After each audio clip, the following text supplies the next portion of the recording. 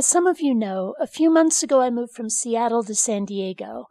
I did it to get out from under the overcast. You see, there's this thing called seasonal affective disorder. For some people, when the weather changes, it can really fuck you up. Sleeping too much, low energy, depression, no desire to engage in social interaction, lack of sex drive, lack of ambition at work.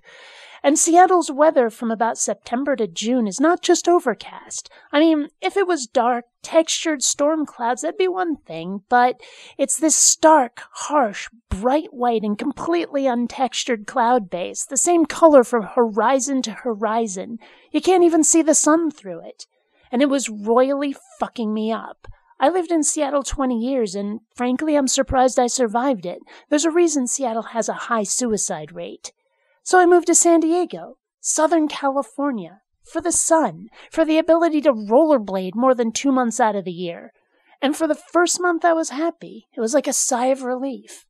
But see, there's this thing called the Pineapple Express. It's a weather system that shoots off from Hawaii to the west coast, sends storms, clouds, etc. Apparently, it's unusual to hit San Diego, but this year it did. And for the last two months, it's been like I brought Seattle with me when I moved.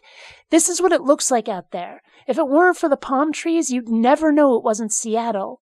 I shouldn't be getting seasonal affective disorder, not in Southern California. I shouldn't be on the verge of tears all damn day. I shouldn't be sleeping almost as much as my cat. Almost wish I'd never left Seattle. At least there I wasn't trying to build a new friend base, and I had the club we'd go to. It's also why, instead of thinking up some relevant topic and being interesting for my day on the Breakfast Club, I'm instead making a stupid vlog whinging about being depressed because of clouds. Low energy, no ambition. I look at the ideas I've had and written down and I'm like, I wrote how many lines? This is going to take forever to make.